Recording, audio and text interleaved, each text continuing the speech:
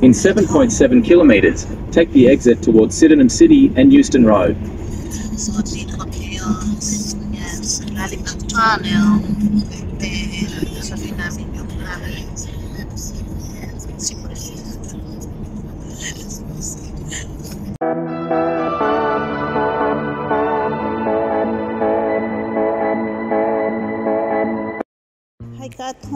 Na nga, nandito kami sa tunnel na kung saan ito yung mahaba at bagong gawa dito sa Sydney na tunnel. Ang haba niya ay 23 meters. So yan. So dinatahak namin ang tunnel dito sa Sydney. So first time kong makarating dito and we're going to the airport sa arrival. Natutuwa ako dahil susunduin ko ang aking pamangkin na pupunta dito dahil meron siyang business trip dito sa Australia. So, he is lucky dahil uh, makakarating siya dito ng Australia with a company expense. So, thank you so much kay Lord. Yan. And happy na rin ako dahil uh, makikita ko siya. So, nandito kami sa Sydney. And ito na nga, malapit na kami sa terminal ng airport. So, I'm so excited! Actually, isang linggo na kami dito sa Sydney. Hinantay lang talaga namin ang pagdating niya para makita ko siya. And nag gawa kami ng salami ang kanyang sister. So, medyo matagal-tagal na rin kami dito. So, inaantay ko na siya. And then, one week kaming mag-extend dito para makita lang siya. So, I'm excited na makita ko ang aking pamangkin na almost ah, nearly 2 years ko na siyang hindi nakita at nakasama. Hi at home. Good morning everybody. How is how everybody? Hi at home. Kumusta kayong lahat? And nandito kami ngayon sa terminal to pick up my relative, my nephew. So yan. Ngayon ay naantay namin siya. So yan. We're in terminal.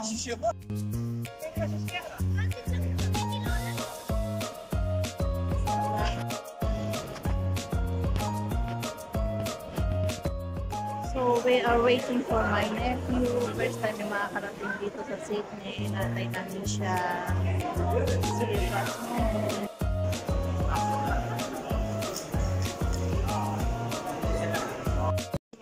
Ha? Saan ka doon ka nagkagaling? Hindi ko siya nakita ka atom sa kabilang gate pala siya dumaan. Ayan, may free SIM card dito. O yan, free SIM card. Dito kami kumuha ng free SIM card. Okay. So, andito kami ngayon mga ka-atom sa Meriton Hotel kung saan siya mag stay for a week. So, ayan ang Meriton Hotel dito sa Parramatta. Ayan, napakaganda. And then, mamaya itutur ko kayo sa kanyang hotel. So, ito ang room namin. Joe. Room. This is a big Room, room. it's a big room, yeah. I don't think this is Yeah. 220. Yeah, it's a big room.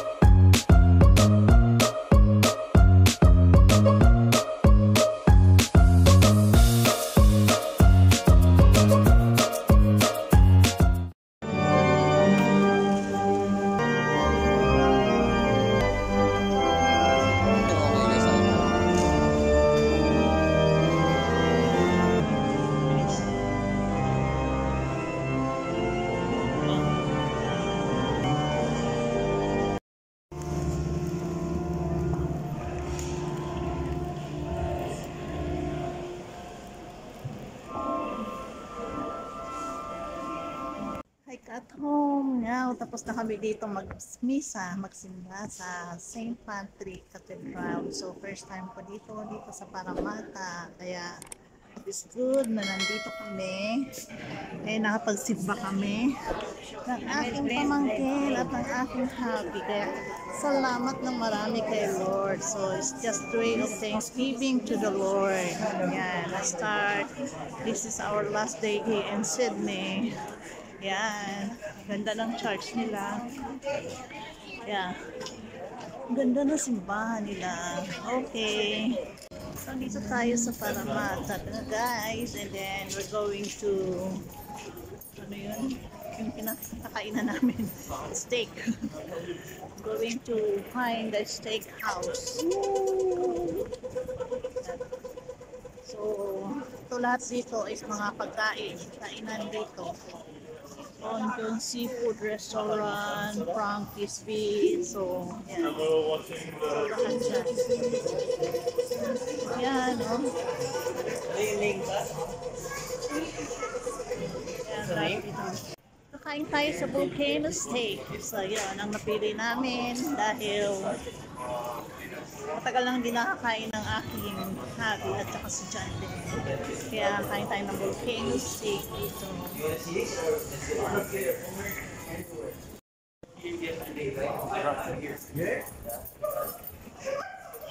Ang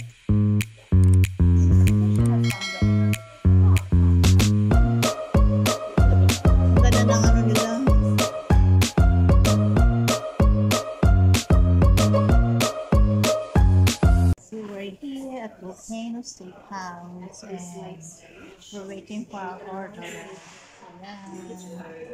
And then for a mile. Ano tayo?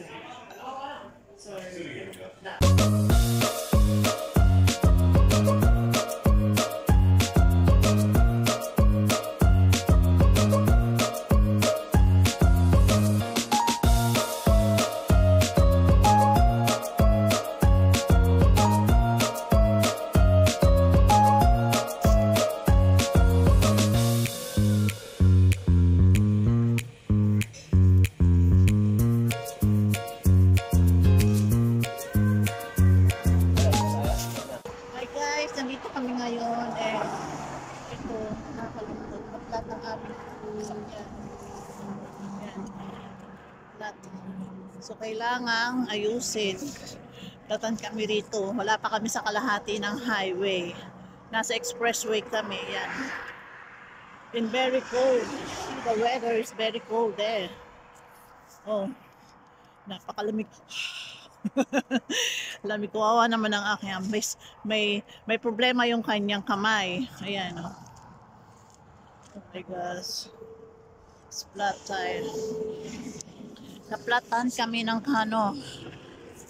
Tignan nyo na sa gilid ko. Dami. Kulay yellow, kulay white. Yun, napakalamig dito sa lugar na to. Siya, kita nyo mausok yung bibig ko. Yan, may usok pa. Kaya yan malamig. Ayan, ang expressway kami. Oh my gosh. Naplat yung aming tire. Bawa naman yung aking happy. Naplat yung aming tire.